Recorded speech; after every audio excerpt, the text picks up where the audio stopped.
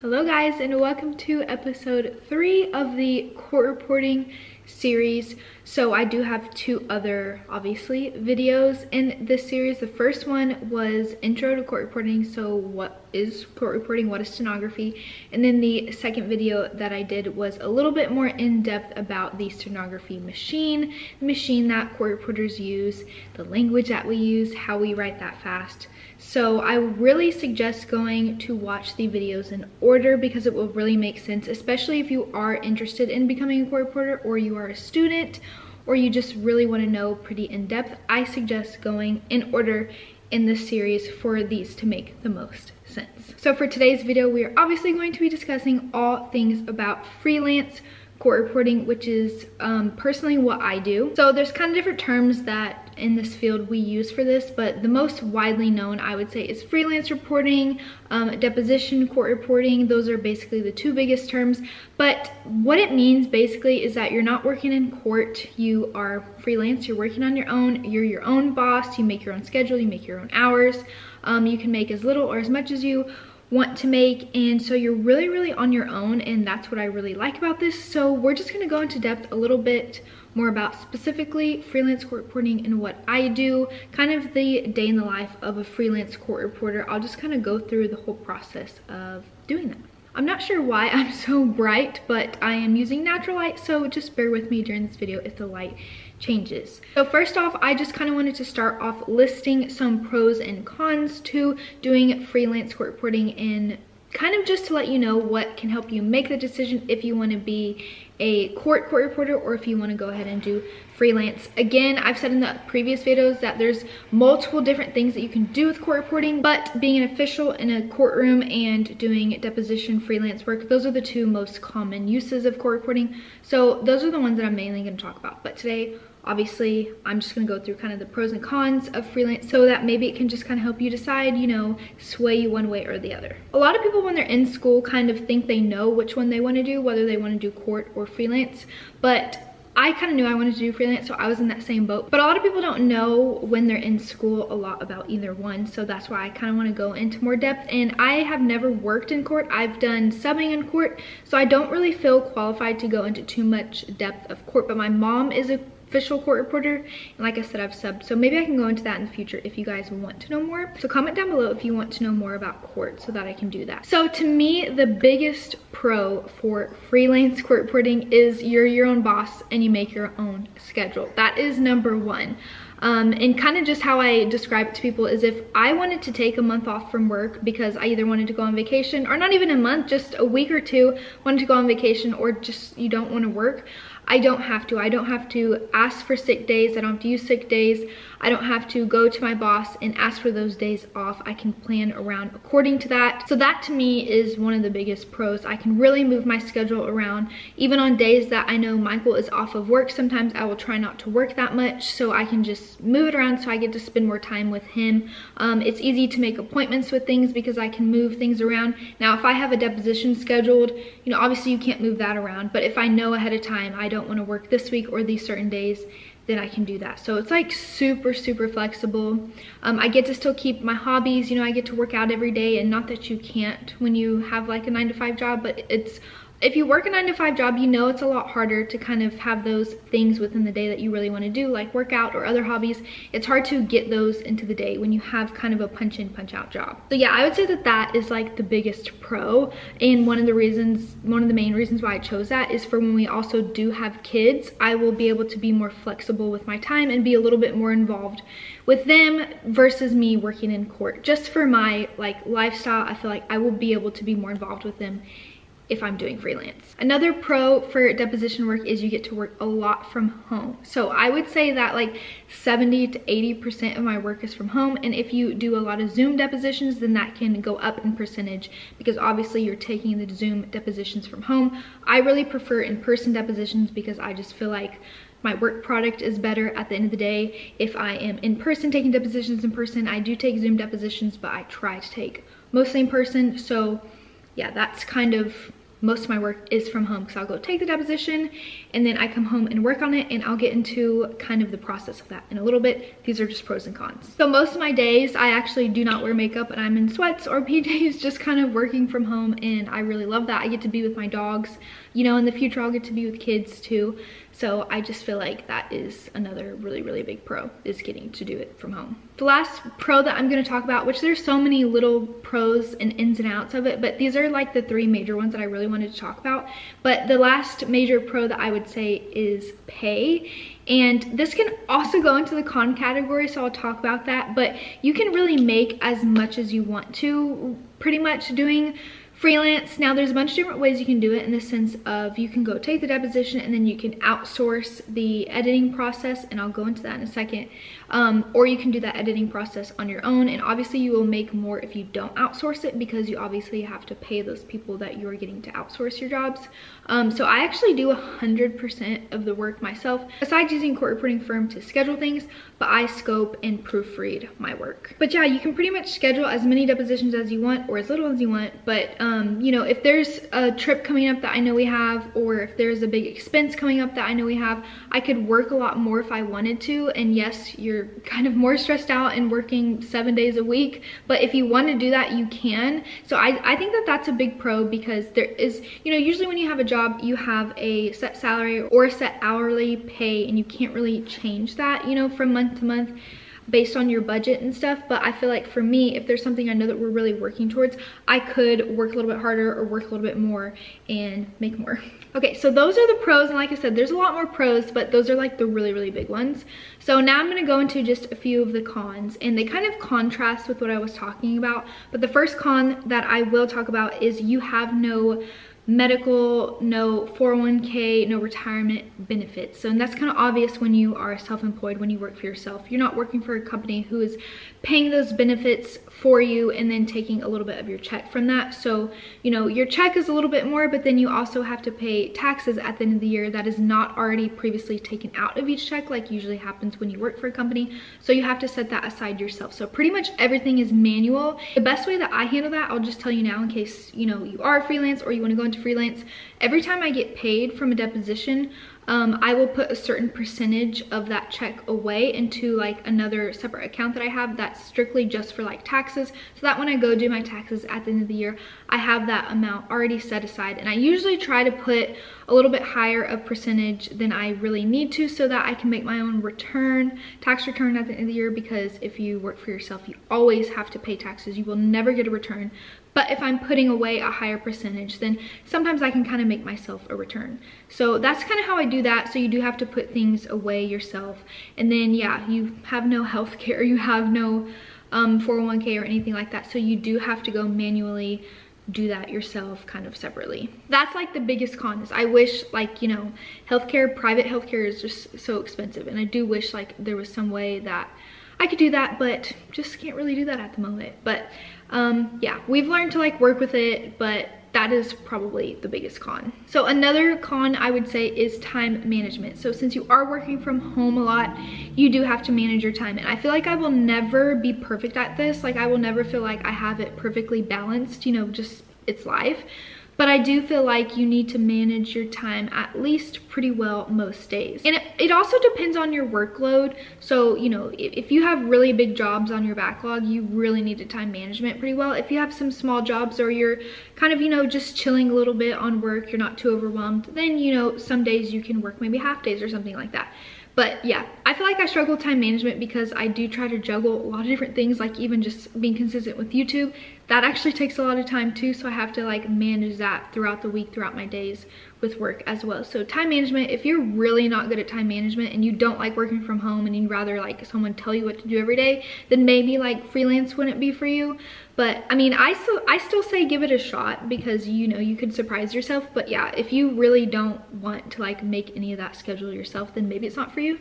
But I really like that side of it. Sometimes I like the challenge and again, I like the flexibility. So the last con that I will talk about again, kind of how I said earlier, is pay sometimes is when you go to a deposition, you never know how long it's gonna be. You never know the turnaround time that they're wanting. They could want it the next day. They could want it normal turnaround time. So you get paid more, and I'll talk about this in more detail in a minute, but you get paid more the quicker turnaround time they want it. Usually they just want it in the normal turnaround time, which is about two weeks. But if they say, you know, I want a rush the next day or three days or whatever, um, the rate does go up from there. So obviously a same day or next day rush is a lot higher than regular turnaround time. So um, also, you could walk into a really, really short depo that lasts 30 minutes or even a deposition where the witness doesn't even show up and then you get a minimum set pay for that.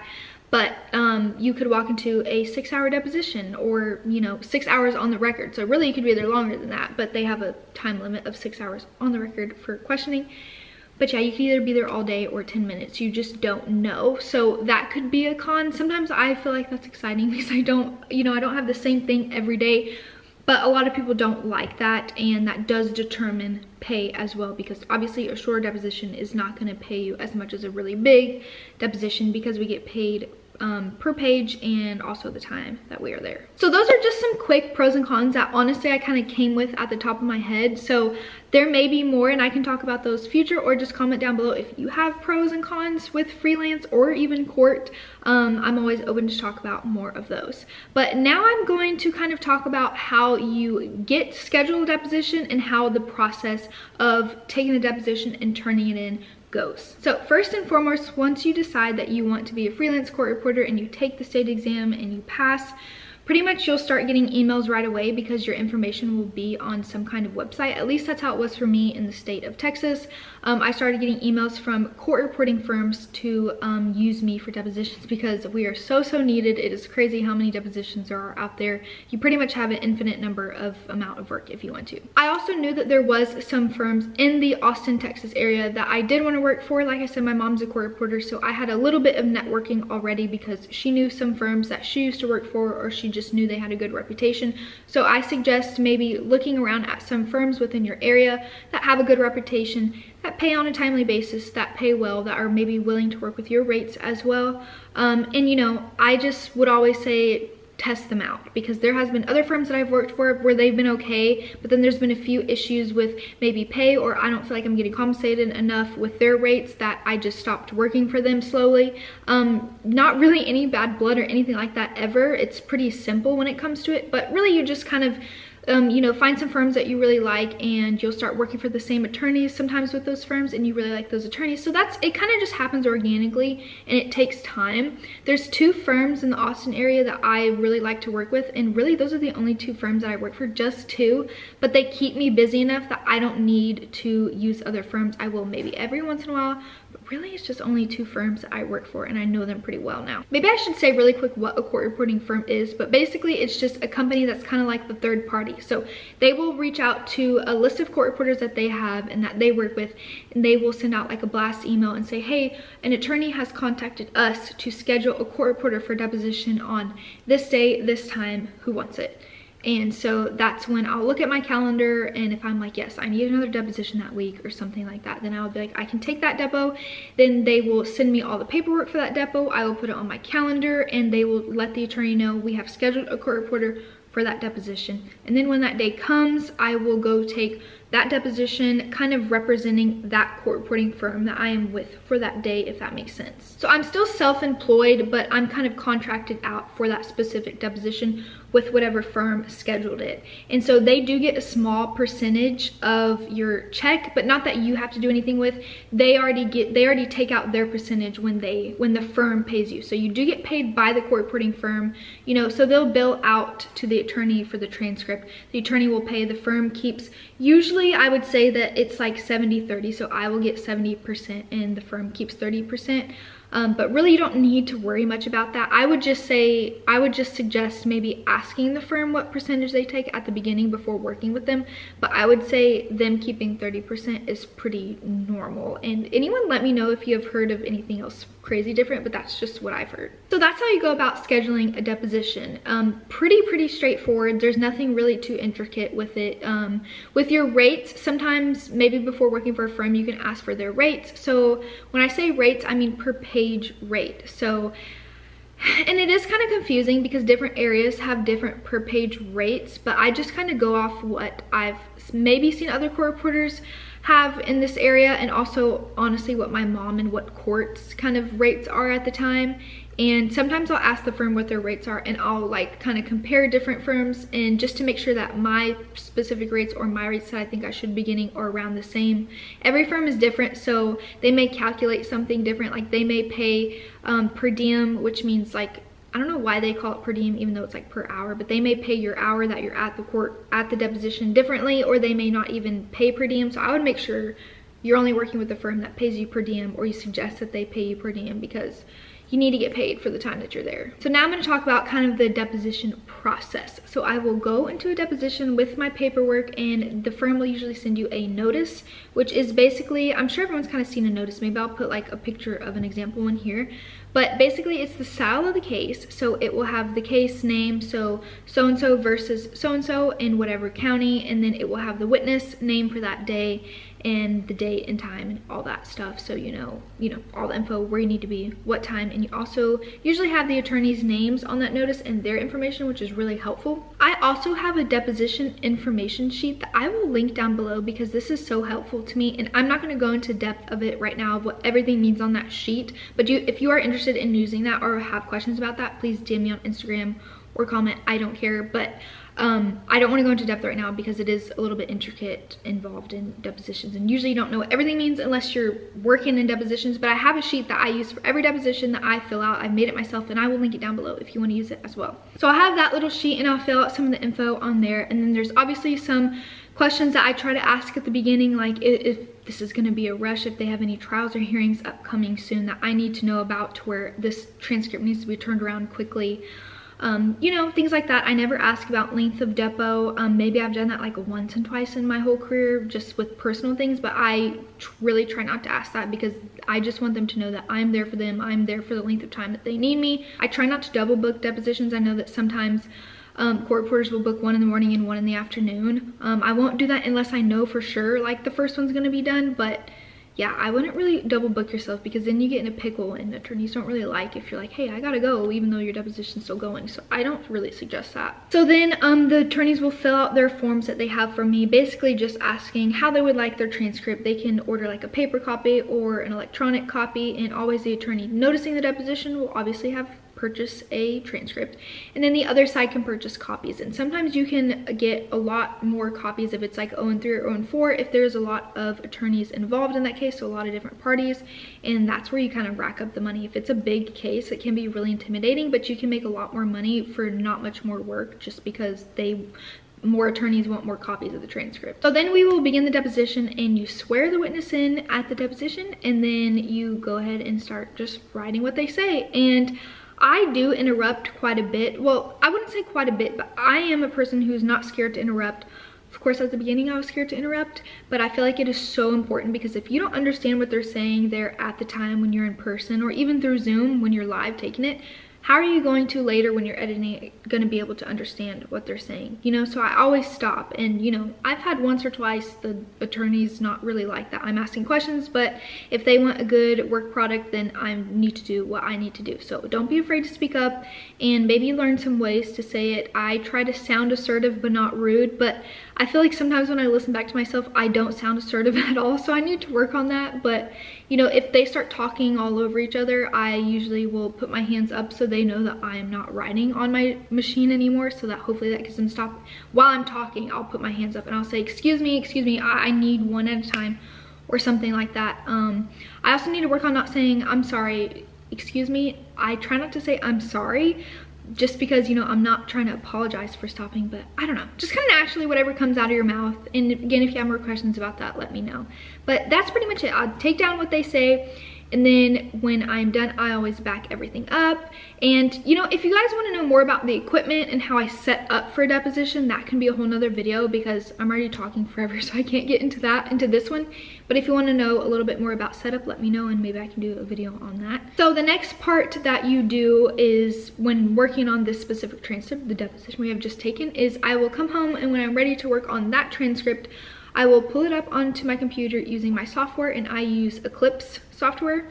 Um, and there's a few different things out there. I know a lot of people use Case Catalyst too, but I use Eclipse. And then now begins the process of scoping, which basically means that you are listening to what you recorded that day and you're just listening to it honestly all again and going through it with your transcript and just seeing if you've made any mistakes, like you may have pressed something wrong so a word didn't come out right or you may have misspelled something, maybe someone's name um, you can start to add punctuation here. You can, you know, start to create more paragraphs that you want that you hadn't created before. You can fix certain speakers if you accidentally identified the wrong speaker, things like that. Kind of fixing the big errors that you have on your transcript. Now, a lot of people, most freelance court reporters that I know, actually, I don't know anyone who does 100% of their work themselves, but most court reporters outsource this so they will have what is called a scopist. So they will send what they took while they're at the deposition they will send that to the scopist and the scopist will go through the transcript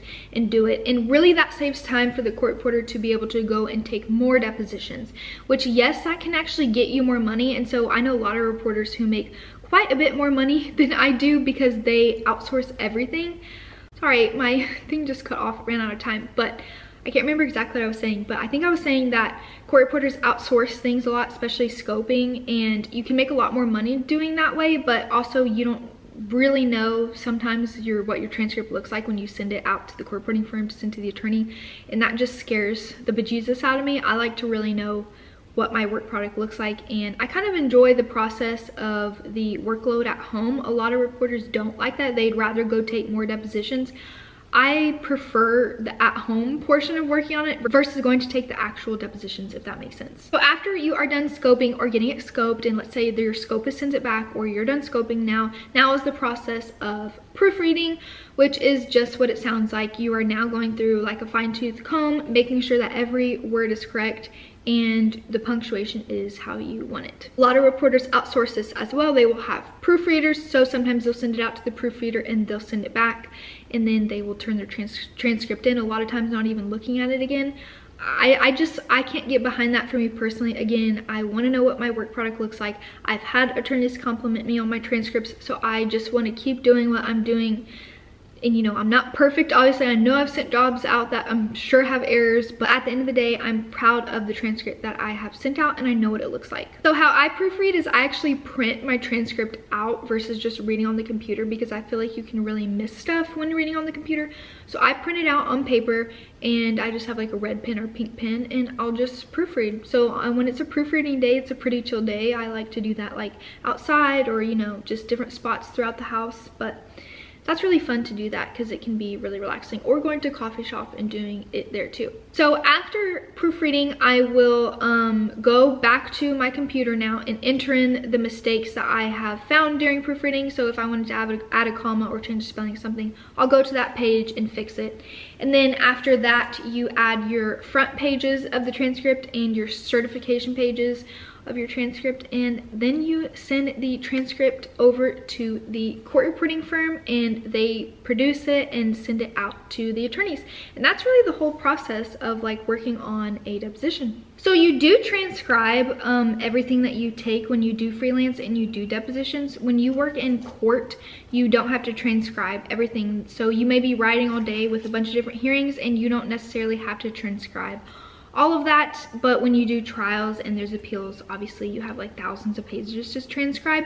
So um, a lot of people don't like depositions because you do have to transcribe everything so maybe that could be another con. But i actually prefer that because then you get to build your dictionary and things like that quicker. And so your writing becomes better in the sense of like editing. Um, maybe not necessarily skill wise because in court i find that a little bit more difficult. Sometimes not all the time if you have a really hard deposition they're just killer. But yeah so you get to build your dictionary and build your software and i think that that's really cool for growing your career. So just quickly how we get paid, and I think this will be the last thing that I talk about today, but how we get paid is mainly per page. So if you go take a deposition and it is 100 pages and let's say that your page rate is $5, well you get $500 for that specific transcript, but then you also get your per diem. Hopefully you're charging that so you're hourly. I have a two hour minimum, so whatever my hourly is, even if I'm there for 10 minutes, I have a two hour minimum that I charge. And um, let's say that I charge $30 an hour for that, then I will get paid $60. And let's say that I was only there for two hours for the 100 page transcript, well then it would be I am now getting $560 for that deposition. But let's say there was an own to, so there was another attorney there who wants a copy. And again, this is kind of controversial because I don't know how everywhere does it, but from what I've heard is that the copy order is one third of the original price because always the original attorney, the taking attorney gets charged the most and that the copy attorney is about one third of the price. Let's do 500 divided by three because I am not good at math, I'm good at words. So 500 divided by three is $166, $166 plus 560. So you are making about $726 off that job and there could be more copies or you could charge more per diem or you could be getting paid more than just a third per copy. It really just depends on the firm, it depends on you. But for that, you know, short-ish, I don't know, 100 pages is a pretty good length of a deposition. You're probably there more than two hours. And then also you probably spending a few days working on it at home. About $730 for that deposition. I hope that makes sense. Again, if you have questions, let me know. But then if there is rushes on top of that, the per page rate actually shoots up. So sometimes I really prefer rushes because it kind of is pressure on you to finish it fast and you get paid more.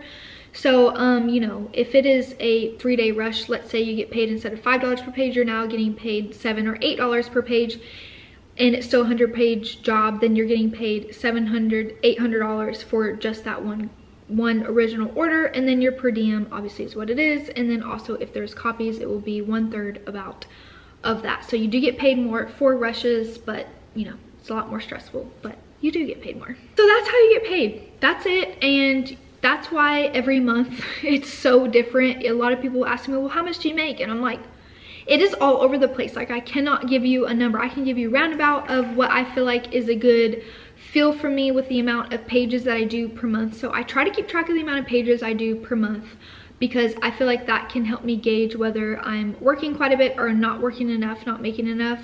Um, and you do get paid, you know, quite a bit after you turn the job in, like two to three weeks after you turn the job in. So just be prepared for that. It can take a while for money to start rolling in. So just make sure you're sending things out consistently and then money is coming in consistently. And you do get paid through the court reporting firm. At the end of the year, you will get 1099s for each firm that you work for. And so it's kind of cool to see how all that adds up with the different firms that you work with. I think that's all I'm gonna talk about today. Again, I could go on forever about this, um, but I feel like I went into pretty good depth of what a freelance court reporter does.